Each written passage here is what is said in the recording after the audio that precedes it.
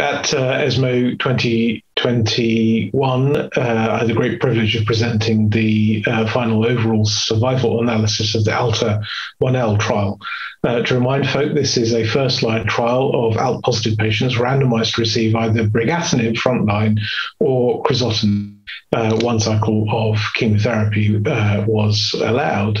Uh, the updated uh, analysis uh, confirmed the ongoing PFS benefit of brigatinib over crizotinib with um, a median of 24 months by BIRC review compared to 11 months for crizotinib and 31 months for investigator reported PFS compared to uh, 9.2 months.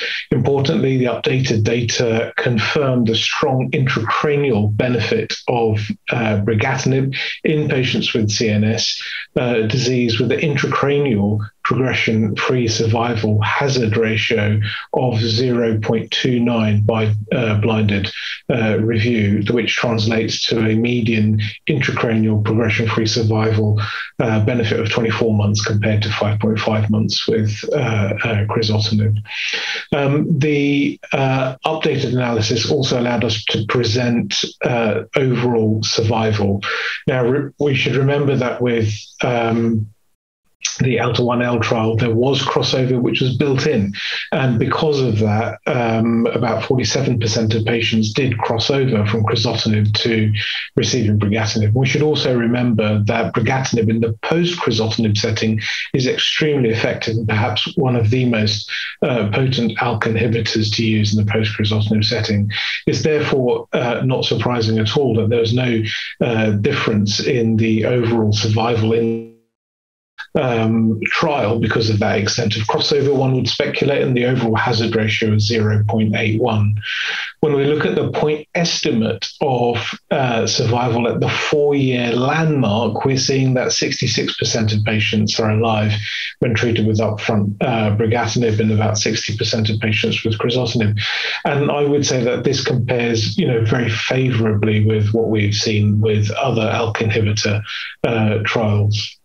Importantly, uh, and underlying the CNS efficacy of brigatinib, the overall survival uh, for patients with CNS involvement at time of enrollment was strongly significant with a hazard ratio of 0.43. So overall, brigatinib continues to demonstrate with further follow-up its efficacy, both in terms of progression-free survival and importantly, we now have a four-year landmark uh, for overall survival. Um, and finally, uh, we can say that when we look at quality of life, uh, brigatinib continues uh, to uh, uh, uh, improve the time until worsening of global um, health status in patients and quality of life measures with a hazard ratio of 0.69 compared to crizotinib. If you look at, uh, if you take account of um, crossover for overall survival, and we look, used a number of statistical methods, but using the MSM method, it actually demonstrates that the hazard ratio is 0.54 for overall survival, giving a sort of an, an estimate for the survival benefit that might have been seen if uh, crossover was taken into account. So overall, uh, the updated data confirms the intracranial and overall whole body efficacy of brigatinib compared to crizotinib.